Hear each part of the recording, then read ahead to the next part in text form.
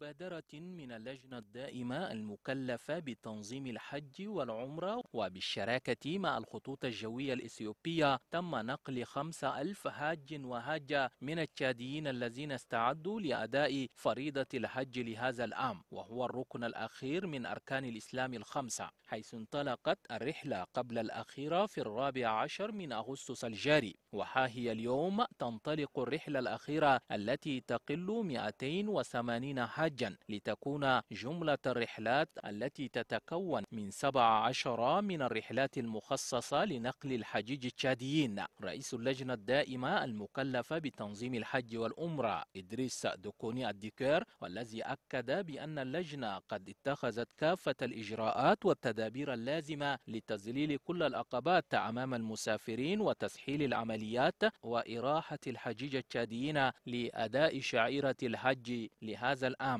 تقريبا عشرة أيام في يوم مرات عندنا ثلاثة رحلات في يوم مرات اليوم عندنا أربع رحلات وفي يوم اثنين رحلات قدرنا سوينا 17 رحلة. الحمد لله نقلنا 5000 حجاج على مملكة العربية السعودية. على حين أقل من 3000 حجاج موجودين خلاص في في مكة المكرمة والباقيين في مدينة المنورة مفروض كل الحجاج ببدا بمدينة المنوره ويأخذوا ثلاث أيام قبل ما يرحلوا على على على مكة. كما شكر رئيس اللجنة إدريس دوكوني الديكير رئيس الجمهورية إدريس ديبي إتنو رأس الدولة لتدخله الشخصي وتوقيع اتفاقية شراكة مع الخطوط الجوية الإثيوبية لنقل الحجاج من أنجمينا إلى الأراضي المقدسة بالمملكة العربية السعودية. فحج مبرور وذنب مغفور لجميع الحجاج التشاديين. 169 حاجا بمن فيهم رئيس اللجنة الدائمة المكلفة بتنظيم الحج والعمرة الجنرال إدريس دكوني الديكر ورئيس المجلس الأعلى للشؤون الإسلامية الشيخ محمد خاطر عيسى.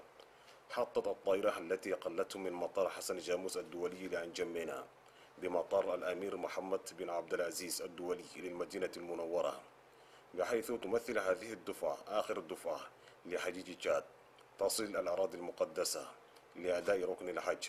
هذا وقد كان في استقبالها بأرض المطار نائب رئيس اللجنة الدائمة المكلفة بتنظيم الحج والعمرة عمر آدمه عبد الله وعدد من مستشاري اللجنة الذين وصلوا المدينة المنورة منذ أكثر من أسبوعين بهدف استقبال الحجيج التشاديين والإشراف على زياراتهم لمختلف أماكنها المقدسة. أول رحلة وصلت المدينة المنورة.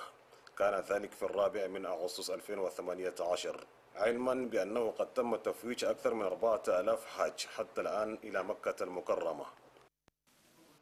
أول رحلة يكون يوم أربعة وآخر رحلة يكون يوم 14 الحمد لله ربنا وفقنا في هذا المجال وعايز نشكر كل المسؤولين بتاع الدولة على رأسه رئيس الجمهورية عشان خطانا في هذا المكان عشان أدى الثقة فوق. الحمد لله في ال 5000 حجاج كان بدينا ب 4000 بعد كده الحجاج زادوا زدنا 1000 والحمد لله كل ال 5000 حجاج على حين مع ال service technique كلهم 5176 حجاج على حين موجودين في المملكة. هذا قدرة ربانية الحمد لله. وما لقينا أي صعوبات من بعدين لحد اليوم خلصنا. نشكر كل الوفد البيزا على رأسه النائب الرئيس. كان هو موجود هنا من عنده اثنين أسبوع مع الوفد بتاعه مع اكيب حقه.